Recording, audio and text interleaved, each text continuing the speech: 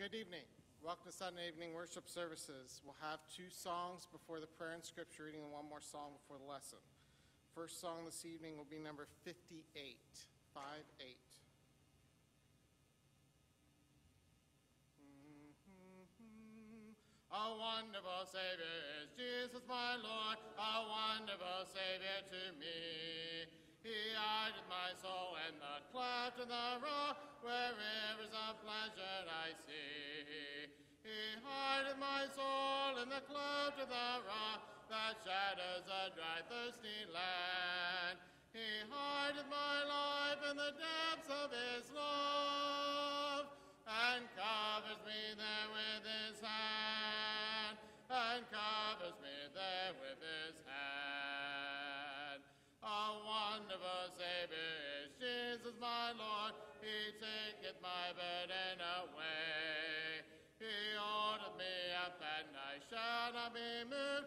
He giveth me strength as my day. He hideth my soul in the cleft of the rock that shadows a dry, thirsty land. He hideth my life in the depths of his love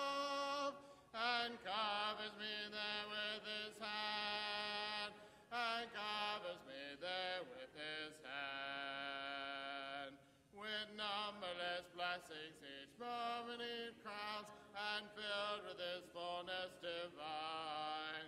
I sing in my rapture a glory to God for such a redeemer as mine. He hideth my soul in the cleft of the rock that shadows a dry, thirsty land. He hideth my life in the depths of his love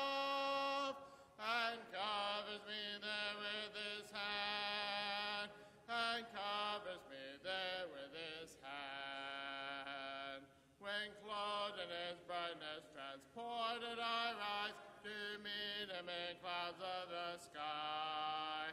His perfect salvation, His wonderful love, I'll shout with the millions on high.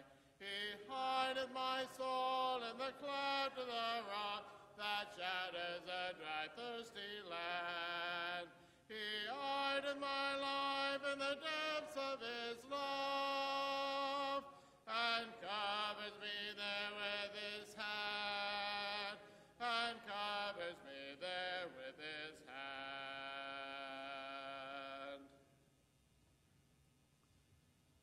Psalm before the prayer and scripture reading will be number 324.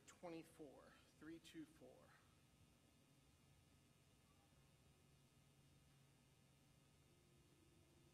Mm-hmm.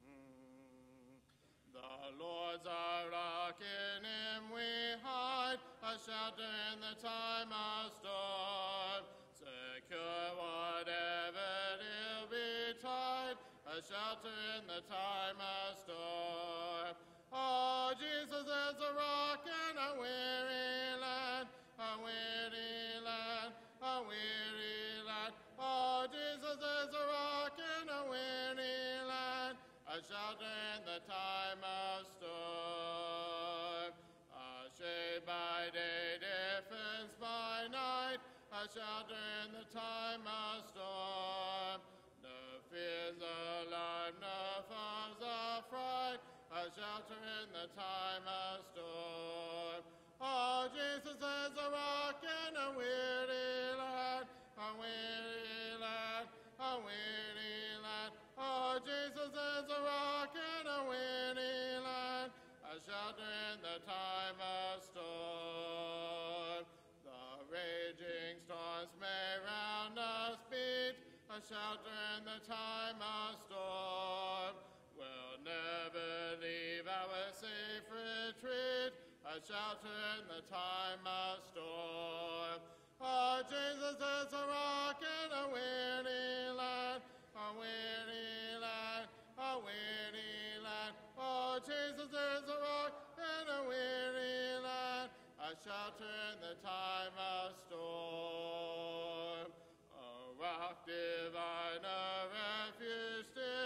a shelter in the time of storm. Be thou our helper ever near, a shelter in the time of storm. Oh, Jesus is a rock in a weary land, a weary land, a weary land. Oh, Jesus is a rock in a weary land, a shelter in the time of storm.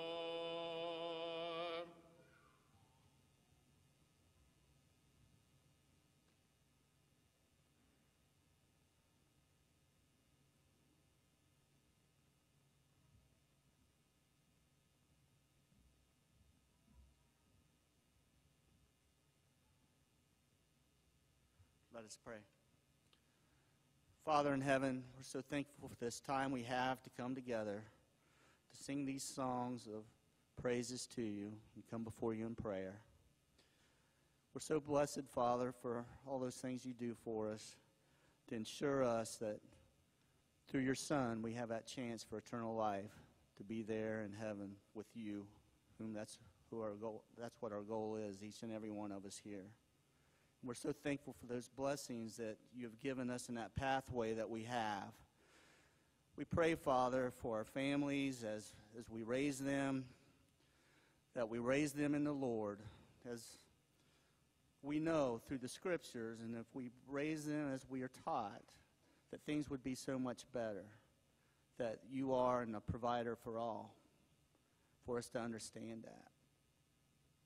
We're so thankful, Father, that we have the Middle Ohio Valley here as our place to worship, and our friends that we, we come across, and we want everyone to go to heaven and be there too, Father. And it's a hard, hard course to, to travel. And you know that, Father. But we ask for the strength that we have to, to overcome these barriers that we always get. But we know through strength through each other and here at this congregation that we can accomplish through your Son and through you anything that we set our minds to. And we pray, Father, that we can do these things.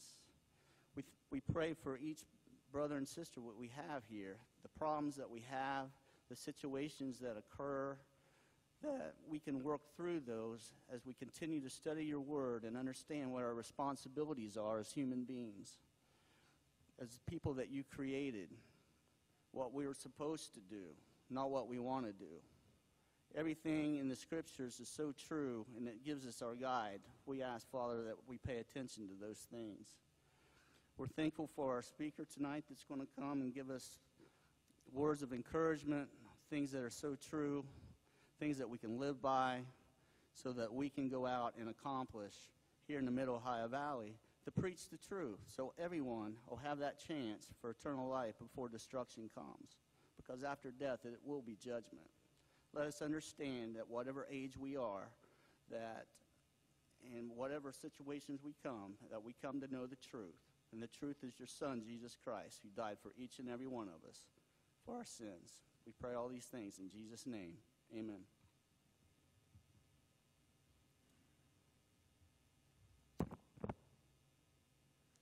Today's scripture reading is Psalm 46, verses 1 through 3. Psalm 46, verses 1 through 3. God is our refuge and strength, a very present help in trouble. Therefore, we will not fear, though the earth gives way, though the mountains be moved into the heart of the sea, though its waters roar and foam, though the mountains tremble at its swelling.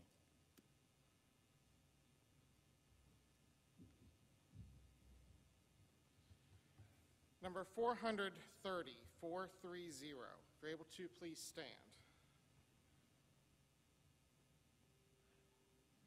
Mm-hmm. Oh, the blessed rock of ages, rock of ages, I am trusting now, dear Lord, in thee, dear Lord, in thee I'm trusting. Keep me till my journey's ended, journey's ended, keep me till my blessed face I see. I be a blessed rock of ages, till thy blessed face I see, thy face I see in glory. When the storm around me rages, around me rages, blessed rock of ages, hide thou me. Keep me when the storm clouds gather, storm clouds gather, keep me till the sun comes shining through, comes shining through the shadows. Keep me till my work is over, work is over. Keep me till I bid this world adieu. Hide me a blessed rock of ages, till thy blessed face I see, thy face I see in glory. When the storm around me rages, around me rages, blessed rock of ages, hide thou me. When my journey is completed, is completed, Savior, and there's no more work to do, no work to do, oh blessed Savior,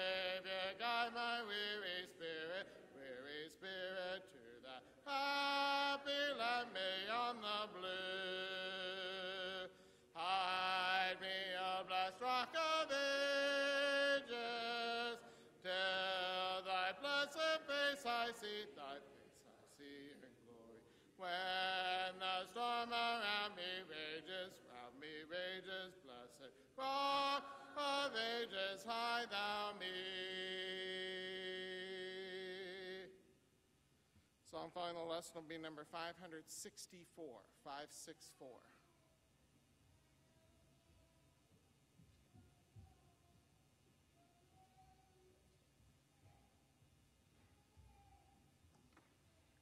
This weekend, we're welcoming Joshua Ball uh, with us in the family of Morgan and Charlie and Oliver.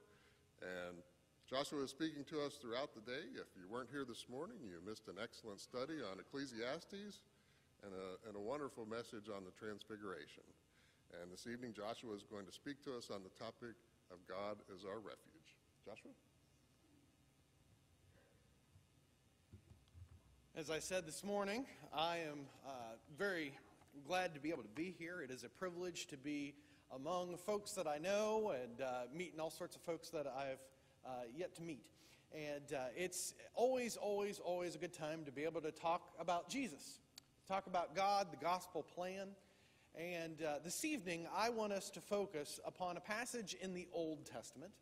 Uh, actually, whenever I was, was talking with Kurt and Roger, one of the plans for the sermons and the class uh, was for the class to continue on the Ecclesiastes class on Sunday mornings. Uh, but for the Sunday morning and the Sunday evening services, uh, it was asked something from the New Testament and something from the Old.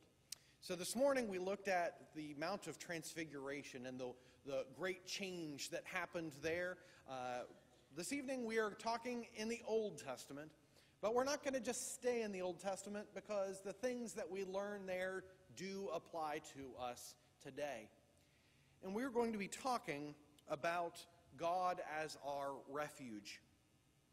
And one of the beautiful things about the Bible is that all throughout it, you will read all sorts of different analogies and illustrations describing what the church is like, what God the Father is like, what us as a church is like.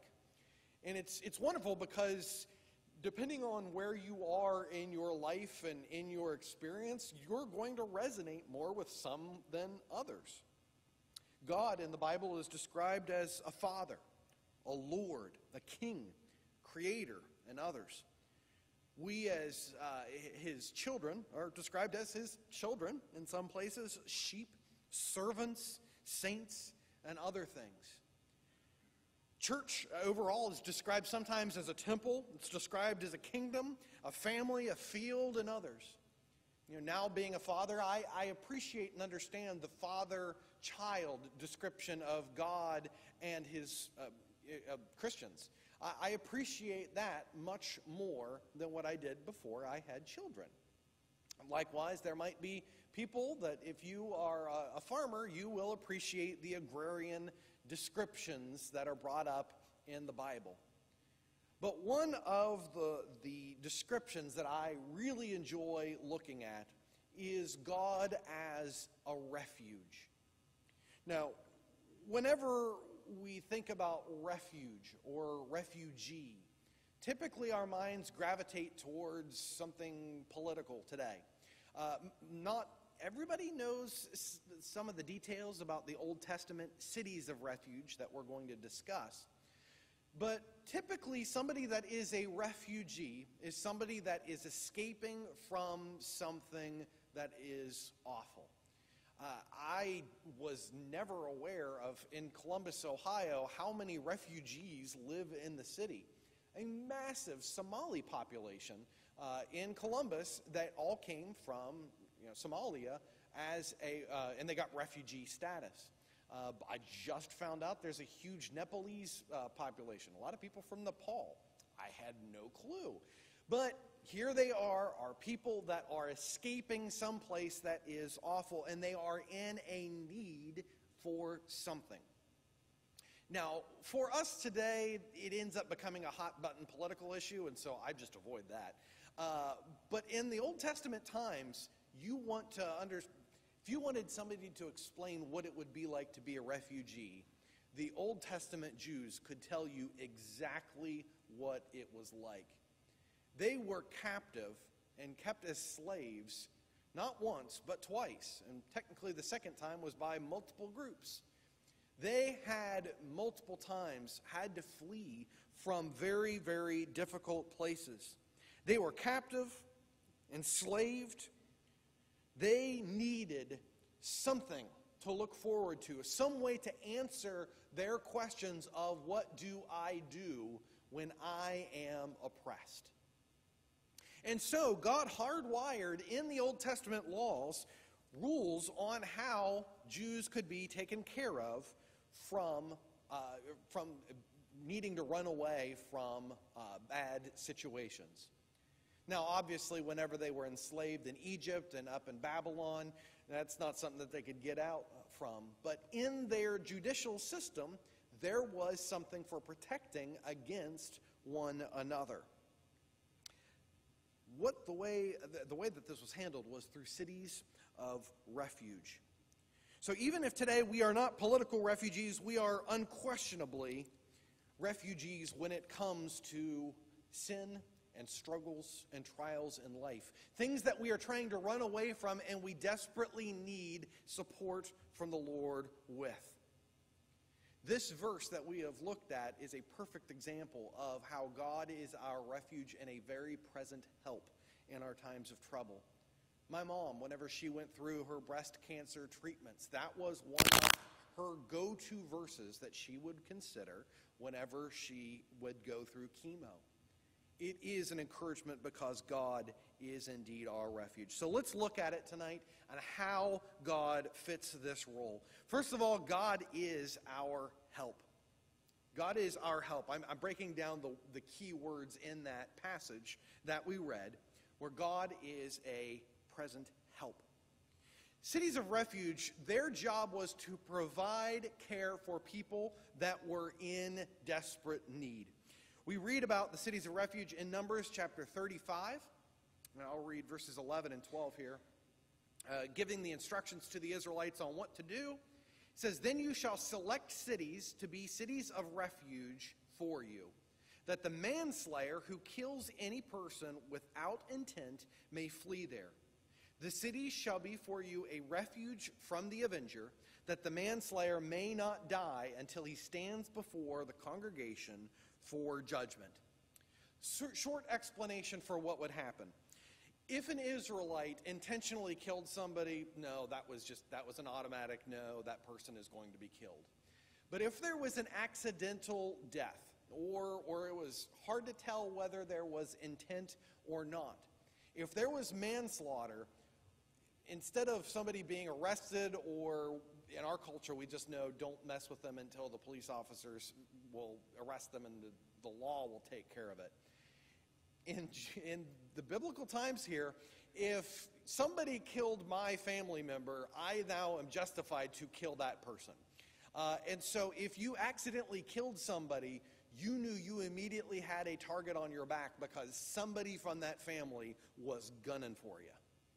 And so what you had to do is you had to get out of town. You had to flee and so God established these cities of refuge that as long as you were in those walls and you made it there, you were not allowed to be killed by the avenger of that family.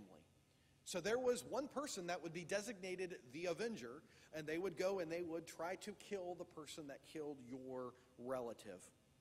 And so once they were there, if the killer was ruled of guilty intent, they were handed over to the avenger to be killed. But if they were ruled innocent, they could live in that city of refuge um, for the rest of their days, or at least until the high priest died.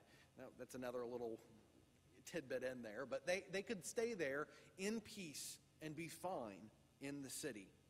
Thus, that city of refuge was a place of help and strength. Whenever you felt like things were coming down on you, you knew that death was coming for you, you could run to that city and you could plead your case in order to be kept from harm. Our God definitely fits the bill for that refuge. He is our refuge and He is stronger than anything that we face. You think about the walls of that city, and thankfully, the walls of those cities were a whole lot stronger than the anger of somebody coming after you.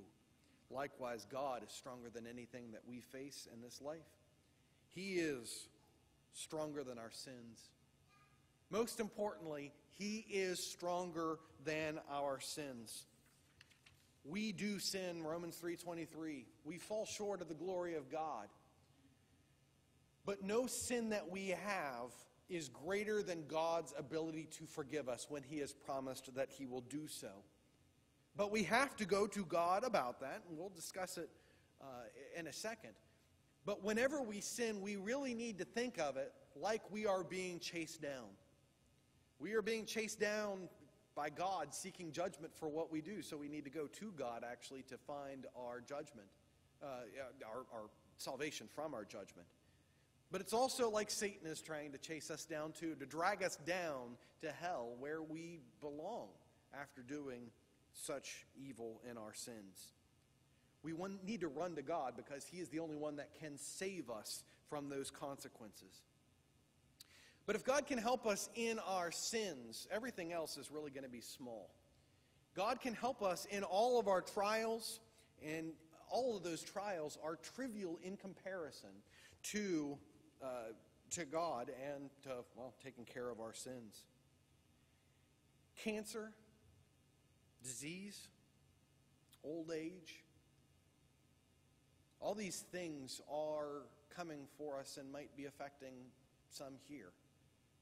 All of us are facing down trials of life in one way or another. Anxiety and depression may be upon some here. And even though that might not be a literal death that is coming for us, it certainly feels like death is coming for us. What do we do when we have the fear of death and the fear of fear coming upon us? We go to God. Because all of these things, big or small, are still nothing compared to the grace and the kindness and the mercy of Jesus Christ. Consider David as an example. That David, whenever he was being chased down by Saul, literal threat of death, he had to run away so that he would not be killed. He was emotional. And many of the Psalms are, are written from his perspective on being fearful. And after Saul died, David wrote a song. David sang in 2 Samuel chapter 22 verses 2 and 3, "The Lord is my rock and my fortress and my deliverer, my God, my rock in whom I take refuge, my shield, the horn of my salvation, my stronghold and my refuge, my savior, you save me from violence." God is the only one that we can truly go to for peace. And so we need to whether they are emotional burdens, whether they are physical burdens, or whether they are sins, we go to God. But God is not just a help, He is a present help. He is a help now. Cities of refuge were placed in strategic places by God uh, around Israel so that people could go there quickly. Numbers chapter 35, verse 15 reads, these six cities shall be for refuge for the people of Israel, and for the stranger and for the sojourner among them, that anyone who kills any person without intent may flee there. That is uh, it, it, the six cities is what uh, I'm wanting to emphasize here.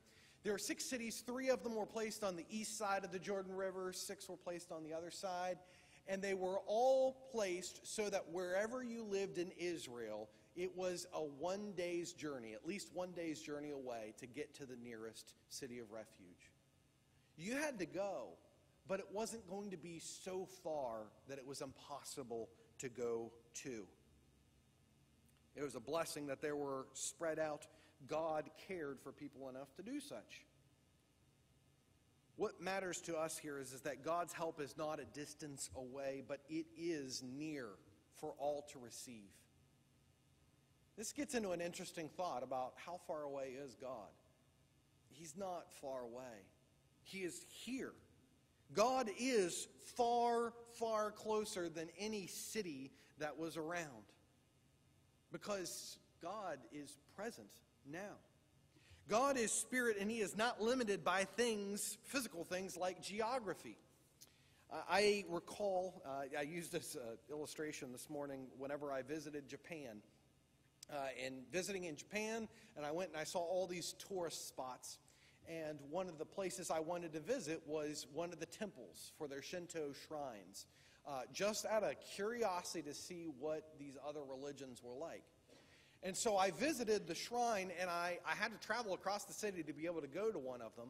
And I noticed they had several things that were very strange to me. One of them is that they had a big old box in the front of wherever you would go to the shrine. And the box had little uh, angled slants, triangular slats that went all the way down. And people were to come up and they were to take their money because you got to pay for the God. Uh, and you take it and you throw your coins in, and those angles on those slats made the coins bounce around and jump and make a very loud noise. And then, once you did that, they had many times a bell that you would go and you would ring, or people would clap their hands multiple times. And I, I had to ask somebody what the, the bell and the clapping was for, and it was to call attention to the God. Their God was off and needed to be called attention to. So not only would you have to cross a city to get to the place to go talk to your God, you would have to make a big old racket to get his attention to be able to listen to your prayer in the first place. We see something similar, obviously, in the Old Testament with uh, the Baal worshippers and Elijah on Mount Carmel, where they were cutting themselves and yelling out. And Elijah started mocking them for that. Our God is not like that. Our God is not a far off God that we have to struggle and, and trouble ourselves over to reach. He is not limited by geography. In John chapter 4, verse 24, Jesus says, God is spirit, and those who worship him must worship in spirit and in truth. The context of that passage is Jesus talking with the Samaritan woman at the well. And uh, to try to change the subject away from her uh, questionable marriage history, uh, she starts saying, Well, uh, you're a prophet. Uh, you Jews worship in a temple, we Samaritans worship on a mountain. Which one's right? Jesus' answer was simple. He said, Well, it's the Jews, it's at the temple, but the time is coming and is now here where we worship in spirit and in truth. Jesus is saying here that the spiritual aspect of things means we are not limited by geography. Brothers and sisters, friends that are visiting, God is here in this place. God is here in this place not because these four walls are somehow holy and sanctified, they're just four walls. But God is everywhere, so that wherever you are out in your path and in your journey, whenever you have trials, either spiritual or physical, God is there to listen to your prayer immediately. God is present. But God still expects us to move. I mentioned that it's a little tricky whenever it comes to God and talking about things. Even though God is everywhere, God still expects and demands that we move. Consider the man born blind in John chapter 9. Jesus spit on the ground, made mud, anointed the man's eyes, and then he said, Go to the pool of Siloam and wash. But God could have just done it right there. He's, he's God in the flesh. Why could he not do that right there? Well, he could. But Jesus wanted the man to do something. He needed to be engaged in the process. And so he said, Go and wash. Naaman the Syrian, whenever he had leprosy, he was told to go dip in the Jordan River. Why is it that God and God's people insist that we do things and move? We are called to obey God in order to receive gifts that we do not deserve. God wants us to participate in the process. I, uh, one of my go to analogies, uh, just because it, it, completely boggled my mind when I learned about it. Uh, as a kid, you know, my sister Rachel and I, we would wash the dishes. And, you know, we're like five, six years old. We would wash the dishes. And I forget the context where I was at, but I was mentioning uh, that we washed dishes, and my dad was nearby, and he said, oh, we wash those things again. And uh, I didn't. I was like, here I was thinking that I was a good washer of dishes when I was five and six years old. And no, I was not. Uh, and like, why would you do that? He's like, you needed to learn to wash dishes. All right? It's, you still, even though we cannot do anything to earn our salvation, we cannot do anything to earn God's favor. That's not how that works. But you better not mistake us not being able to earn those things for God just saying, sit around and do nothing. He wants us to participate in the process because He wants us to be involved and engaged in the process. And so we need to go to God. For receiving salvation, we need to do what He asks. As my mom would always say, if, uh, if He told me to stand on my head for, you know, for anything. She's like, well, you can stand on your head for that long if you have to do something. If God told us to stand on our heads in order to receive salvation, then we better stand on our heads to receive that free gift to salvation. I'm guaranteeing you, standing on your head ain't going to earn anything. Being dunked in water ain't going to earn you anything. But God has promised us that being immersed in water, whenever we are doing so for the remission of our sins, repenting, turning away from what we've done, we will receive salvation because that is His gift. And as a gift, He gets to set the standards. He gets to tell us exactly how He wants that to happen.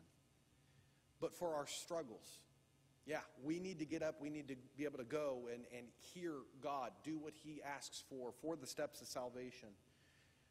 Whenever we're having any kind of struggles, pray. Pray.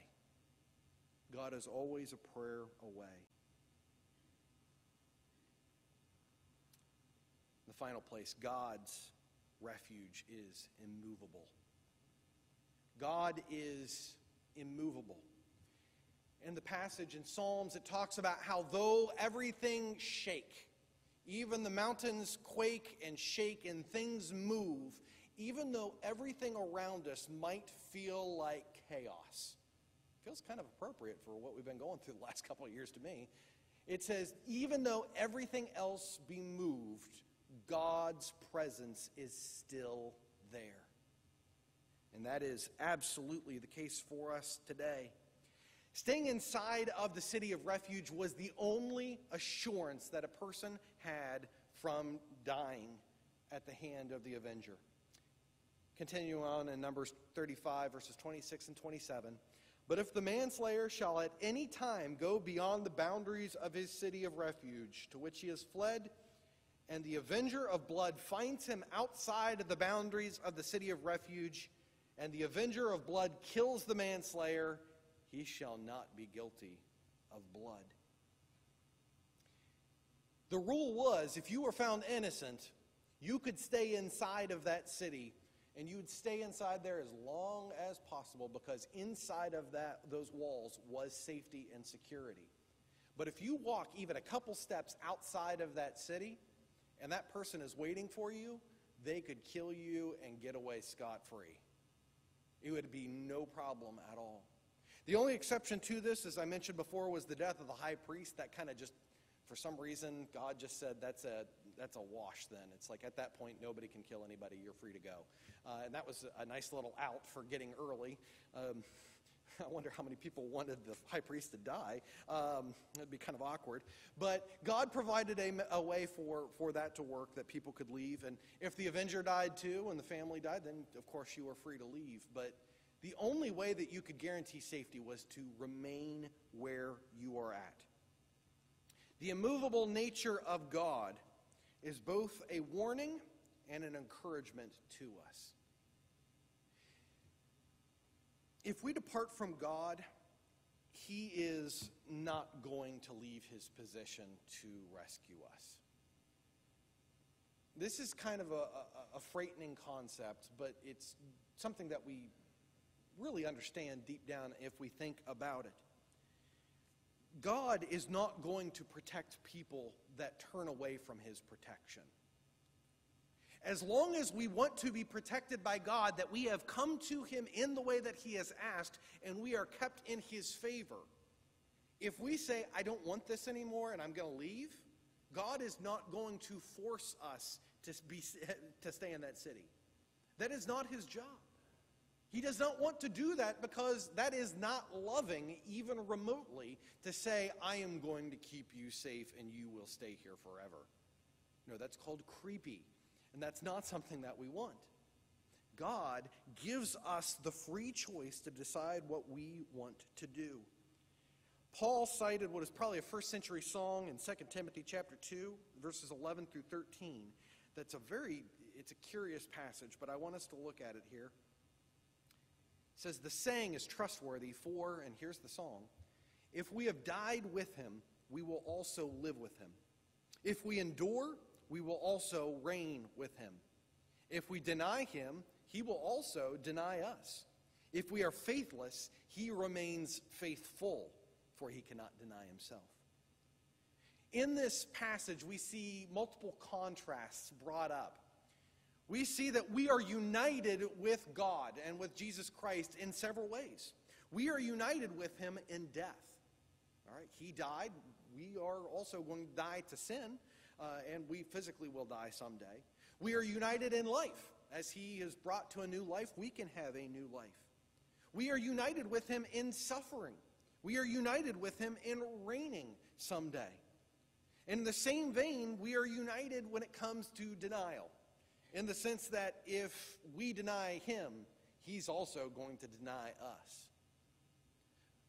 But the part that we do not have in common with God comes with faith. A division comes here in the matter of faithlessness. Because if we become faithless, Jesus is not going to become faithless too because he cannot deny his own existence. If we decide to become faithless, he will remain faithful to himself.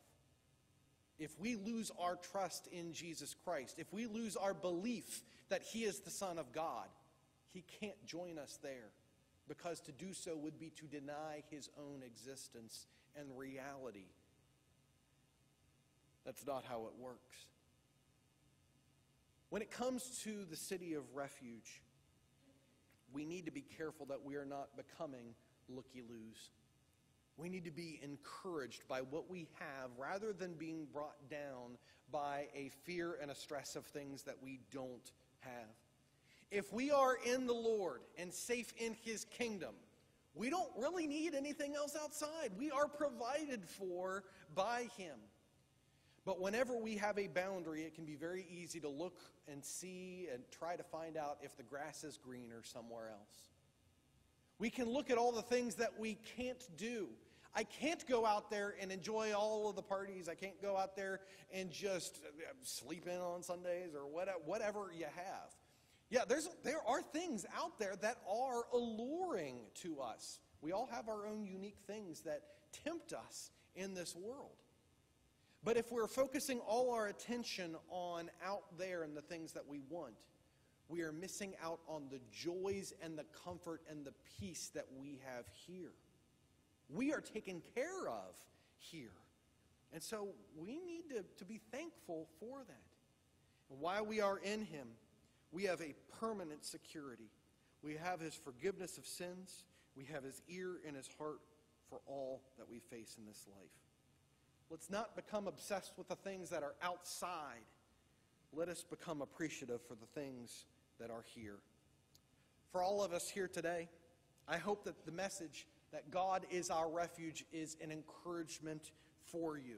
If you are a Christian, I hope that you can go home tonight and you can be thankful that God is here for you. But if there are one or more here that are not in Christ, know that by your sin, you have an avenger coming after you. Death is coming. God is coming for retribution for the things that we have done. And you need to run. You need to run not to a far off distance, but you need to run spiritually to the Father and heed what He asks to remain safe in Him. He asks that you believe in Him. He asks that you confess that you believe that Jesus is the Christ, the Son of the living God. He wants you to repent, turn away from your sins, and to be baptized in the watery grave of baptism, rising anew.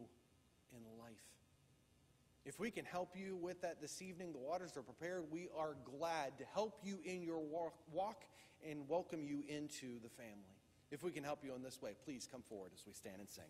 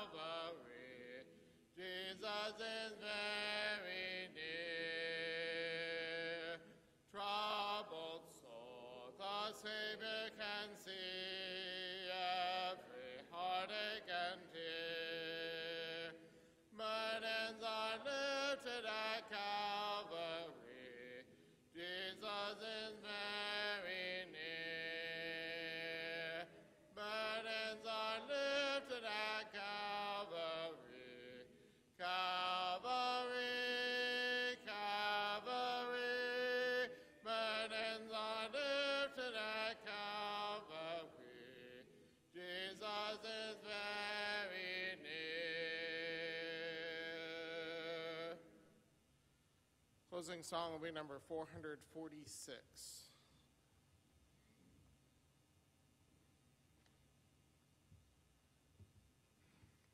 Well, thank you, Joshua, for another excellent message. Several announcements to share with you this evening. Among our sick, uh, Norm Wilkinson has been at Belpre Landing and is now staying with his daughter Kim in Columbus, Ohio. Uh, Sherlyn English, that's Janice Chrisman's sister-in-law, uh, has been dealing with COVID. She was at Wheeling Hospital and she is now at home. We extend our deepest sympathy to the family of Joanna Thomas, that's Susan Ellis's aunt. Memorial services will be held this coming Wednesday at 2 o'clock at the Hadley Funeral Home in Reno. If you were unable to partake of communion this morning, it has been prepared. During the singing of the final song, you can exit through the rear of the auditorium, uh, take a right, go up the ramp to the multi-purpose room. See, Greg Klein will meet you there. Invite you back every opportunity you have, to be with us. This Wednesday, we'll continue our study of the book of Hebrews. And of course, next Sunday morning, we'll continue our study of Ecclesiastes and of course, um, worship at 10. There is no backside tonight. I'm so used to having a backside of late. Following our final song, uh, Adam Burkhart will lead, our, lead us in a closing prayer. I remind you, as I did this morning, that um, Joshua is one of the men we are considering, considering as a, a potential full-time pulpit preacher in the future.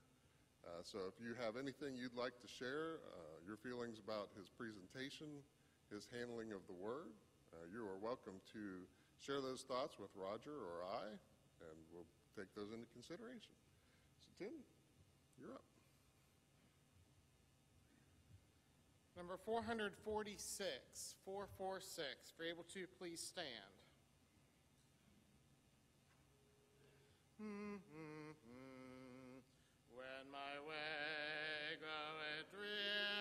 precious Lord, linger near.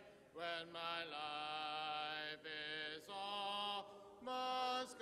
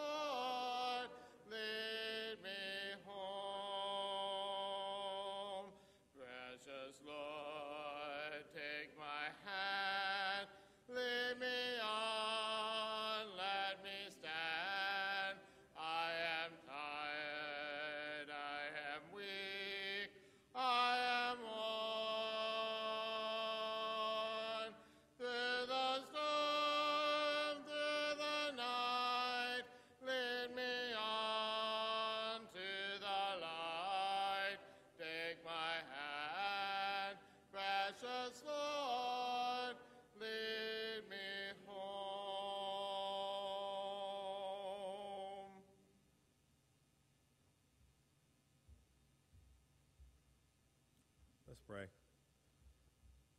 Father in heaven, we thank you for this hour of worship we've been given this evening. We pray that our worship to you this evening has been in accordance with your will. We pray for those who were mentioned as being sick, those who were mentioned as suffering from the loss of loved ones. Lay your healing hand and your hand of care upon them. Be with our speaker tonight as he returns home. Keep him safe. Return home safe to his family. Keep us all safe as we leave here tonight. And bring us back to the next appointed time. In Christ's name, amen.